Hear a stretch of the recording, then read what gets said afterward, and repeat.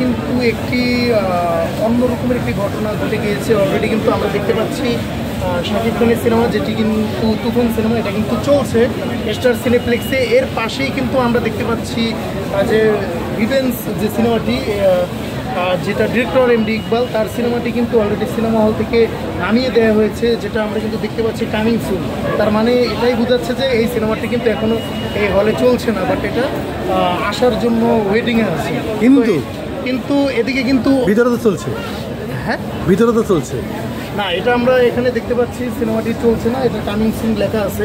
পাশাপাশি যে অন্য সিনেমাগুলো ঈদের যে সিনেমা এটাও কিন্তু এখানে চলছে না শোয়িং লেখা আছে আগন্তক এটাও চলছে।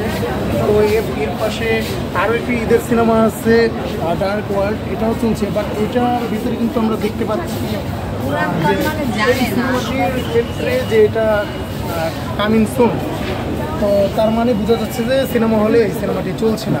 তো এই বিষয়ে আসলে হল কর্তৃপক্ষই ভালো বলতে পারবে। এটা কি তাদের কোনো ভুল ইনফরমেশন কিনা বা দর্শক দেখলে এটাকে কি নাকি আসলে ইকবালকে ঠকানো হচ্ছে? হ্যাঁ এটা আসলে আসলে যে প্রডিউসার ইকবাল আসলে তার বিরুদ্ধে বা তাকে কি ঠকানো হচ্ছে কিনা এটা আসলে প্রশ্ন রয়েই যায়। তো দর্শকের মতামতটা আপনারা বিস্তারিত আপনাদের কমেন্টে অবশ্যই আপনারা তাহলে কি নামিয়ে দিল ইকবালের সিনেমা? হ্যাঁ তাহলে কি নামিয়ে দিল কি ইকবালের সিনেমা? আসলে কি?